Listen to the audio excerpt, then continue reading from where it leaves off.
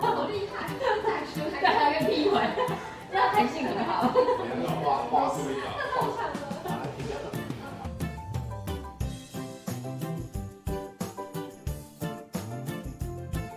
现在是凌晨五点多，准备出门。艾瑞斯呢都会自备推车，因为东西啊我就是要带很齐，不然呢、自己都很不放心。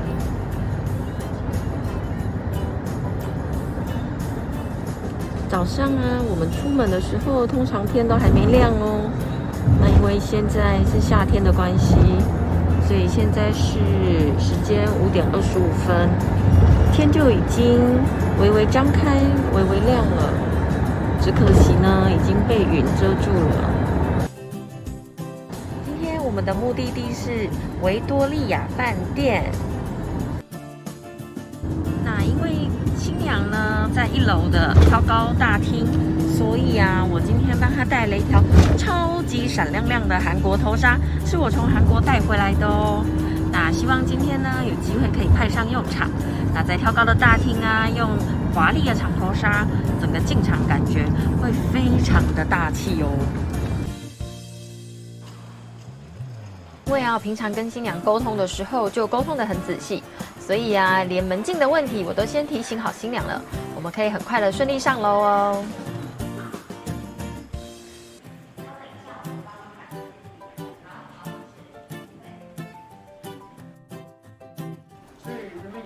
从事新密这么多年来啊，我的花艺饰品都是新娘非常非常注意的焦点。提到鲜花新密呢，哎，几乎代表人物就是艾瑞斯了。你可能会以为我跟其他新密一样，是买饰品店做好的现成花艺饰品，但是其实啊，我都是每一场就像你看到的这样，在现场呢，依照新娘的头型还有发型的比例去调整的哦。就好像机器做的跟手做的温度、契合度跟精致度就是不一样，所以这么多年来啊，我还是坚持一定要现场制作。因为每一次的制作呢，都是不同的素材、不同的灵感。我就是喜欢给新娘这种独一无二的感觉，让每个新娘都有专属于自己的风格。今天呢，很开心合作的是婚摄大嘴，大嘴真的是婚摄界的暖男代表。每次跟他合作呢，我都不用担心流程的问题，他都会事先就跟新娘做很充分的讨论，然后当然我这边也会确认过。然后当天呢，也会很贴心的协助沟通所有的细节，我只要顾好新娘就好，真的超棒的。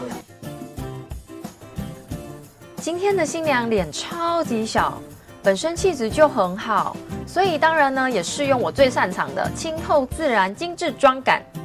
比较特别的是啊，新郎不希望她染发，像这种有灵气的女孩，我也觉得黑发很适合她。新娘比较特别的需求是，她每一套都希望有刘海。稳定呢，我建议她先侧刘海，后面我就会帮她剪短喽，就恢复成她平常最喜欢的妹妹头。然后她本身也很秀气，所以呢，饰品方面都适合小小的素材就好了。加上呢，新郎也希望饰品不要太大。既然神队友都愿意来我工作室跟新娘一起讨论了，我们还是稍微参考一下他的意见吧。所以呢，今天我们都用小小的素材帮新娘制作饰品哦。只要流程不会太赶，也不会一直换新娘梳化空间，摄影师也没有把新娘带得太远，我能顾及下一套的准备流程的话，新娘拍类婚纱我都会去看一下。希望你时时刻刻都是最完美的状态。我们再稍微整理一下，等一下呢就要准备开始纹定了。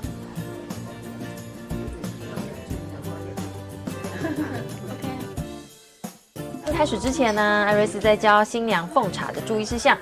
哎，没想到新娘说大嘴也教过她了，嗯，超棒的。我想听第二次呢，新娘应该印象更深刻哦，不容易忘记。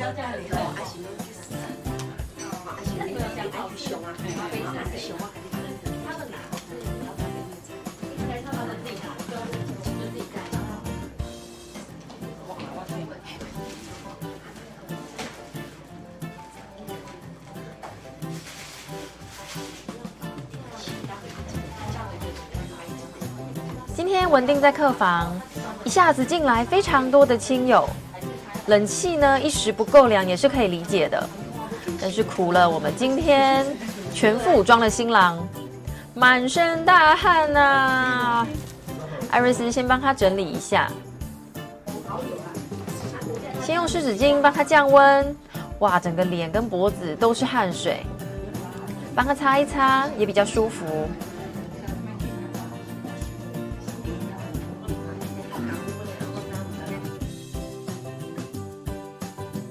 哇，在有自然光的地方拍新娘，怎么拍都超级美。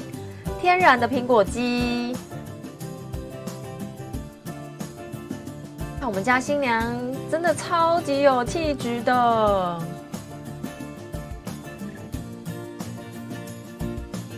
我的团队造型师平常没有接案的时候，都会这样跟着我，还有团队其他老师出来工作，整个就是母鸡带小鸡的概念呐。即使呢有人刚入行不久，也在开始接案前就累积了非常大量的经验。我们团队每个老师都有一套自己的习惯，还有不同的新娘属性，在这样大量的累积下来，会比自己摸索好几年的新密看得多，也强得多哦。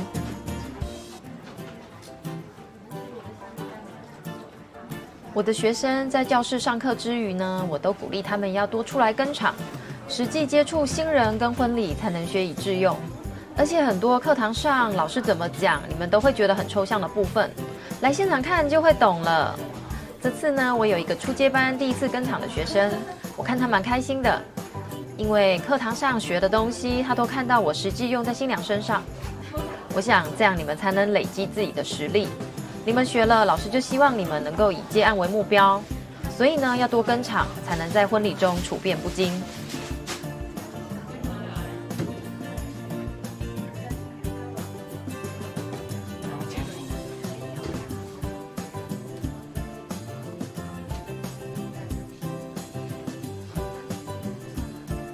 有发现吗？我都不会让新娘在厕所梳化哦。见面沟通的时候，就跟新娘说明的很清楚。请她事先跟饭店做沟通，这样子摄影师找上来拍照的时候，有漂亮的化妆场地跟光线才是最完美的。因为在厕所梳化真的有诸多不便，所以新娘啊，你们记得，当饭店跟你说在厕所梳化就好的时候，请你一定要来跟我求救哦。不过我也会事先提醒你的啦。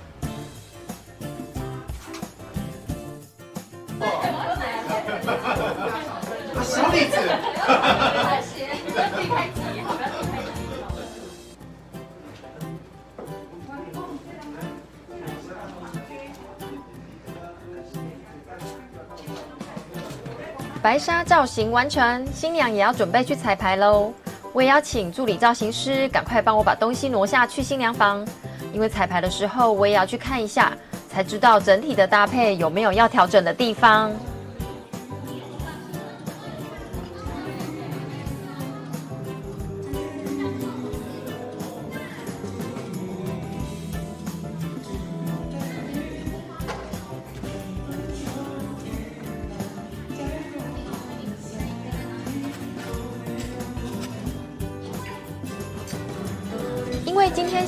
有迎娶，彩排完呢才有时间可以直接拍类婚纱。如果你们是订结婚午宴有迎娶的话，我们整个流程呢会很赶。如果还要挤时间拍类婚纱，那就真的要分秒必争了。请事先一定要跟我们讨论过哦，摄影师、新密这边都要有充分的讨论，才有可能挤出那个珍贵的时间来拍类婚纱。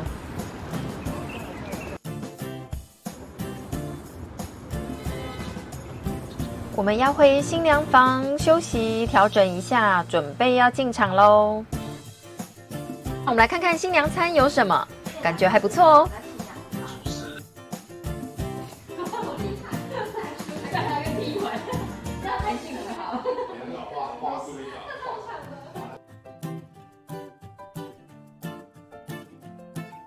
准备进场整理头纱中。每次呢，用长头纱最怕的就是有阿北出来上厕所，去踩到我从韩国带回来的头纱，会超心疼的。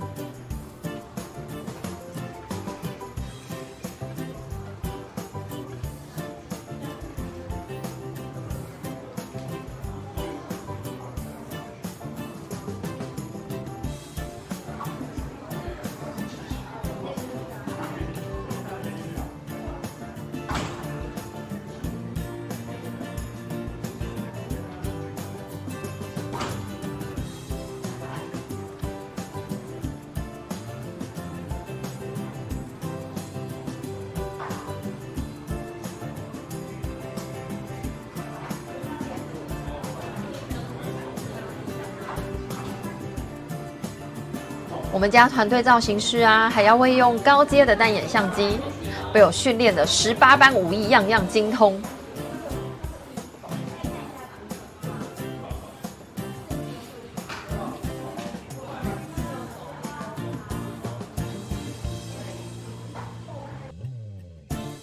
官网上的照片都是自己拍的哦，而且我用的是婚摄等级的单眼相机。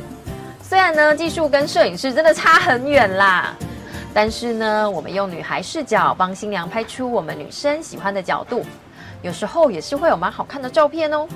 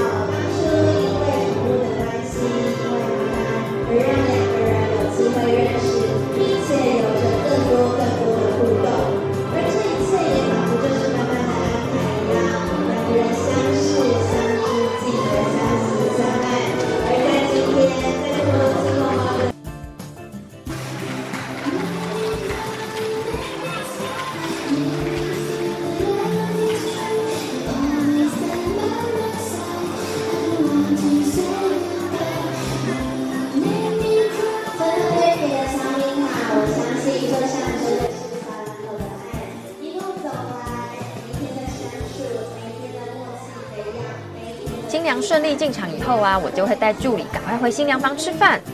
来看看我们的新蜜餐，真的很感谢新娘的喂食哦，帮我们准备这么好的便当，爱你。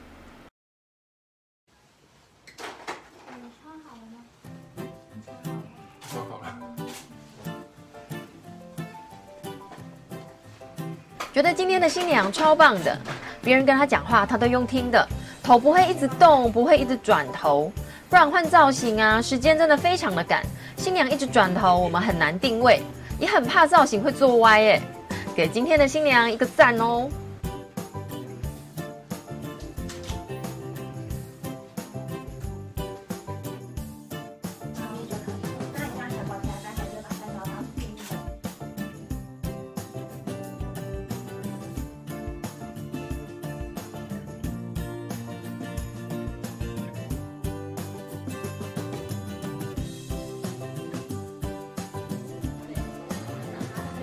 只要你们进场，我都在。我比新娘还要担心有什么问题，没办法，这就是天生的个性使然吧。很快的，新娘要换送客造型喽。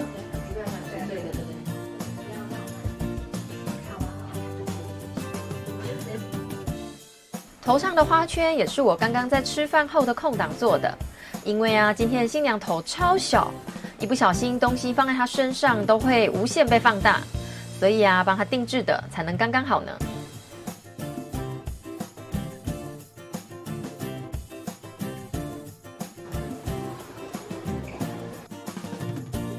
希望能够有新娘房的钥匙或者是房卡，因为这样子呢，当我们不在的时候，才能够帮你们关门。那我知道很多新密都是没有跟出来看的，所以有时候你们在跟饭店要钥匙或房卡的时候，会遇到一些困难。那你可以跟他说，因为我的新密都会出来看我，所以不会一直待在新娘房，要请你给他钥匙。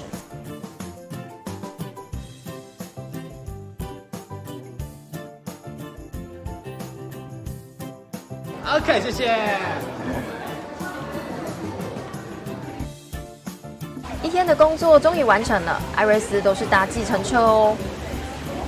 我的东西超级多的啊，考量到大台北地区停车实在是太麻烦了，很怕因为这样子而耽误到新人的时间，所以呢，我都搭车。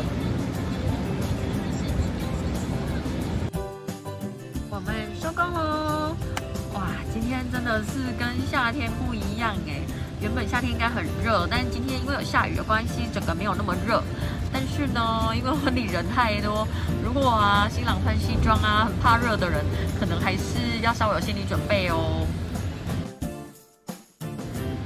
从早上五点点多出门啊，到现在看一下，三点五十九分就可以坐上计程车了，而且已经快回到家了，算很早喽。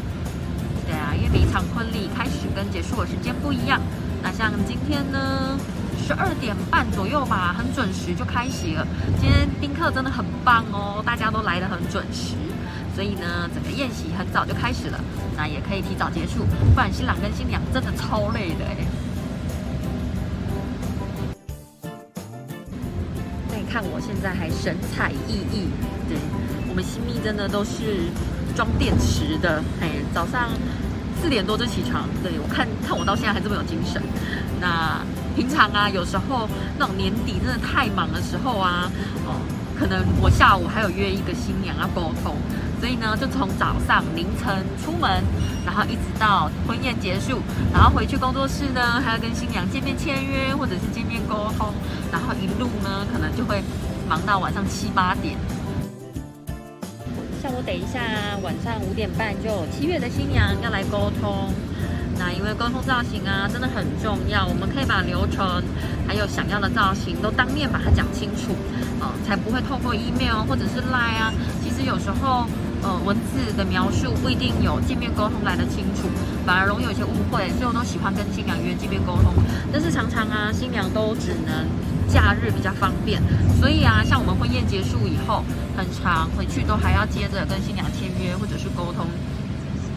但是我觉得这样很值得，因为至少像我今天婚礼的时候，我在帮新娘制作饰品啊，还有帮她搭配的时候，其实我都已经知道新郎新娘的喜好了，所以我都直接把它兜上去就 OK，不用说在现场啊，大家还在那边讨论，真的很浪费时间。那有时候小管家在旁边，你会觉得说，天哪，你们到底扫了没？因为毕竟他们还是有上菜的压力的。那我会觉得说，见面沟通真的会比较清楚，所以呢，待会呢。我在沟通跟新娘哦，早上呢凌晨四点多起床，到现在四点，对，婚宴结束，即将到家，等下五点半还有个沟通，加油！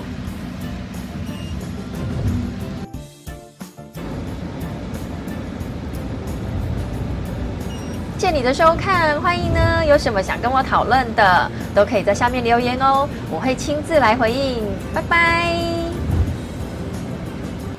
好的，亲密带你上天堂，选择艾瑞斯带你上天堂。收看我的频道，帮我按赞、订阅、开启小铃铛。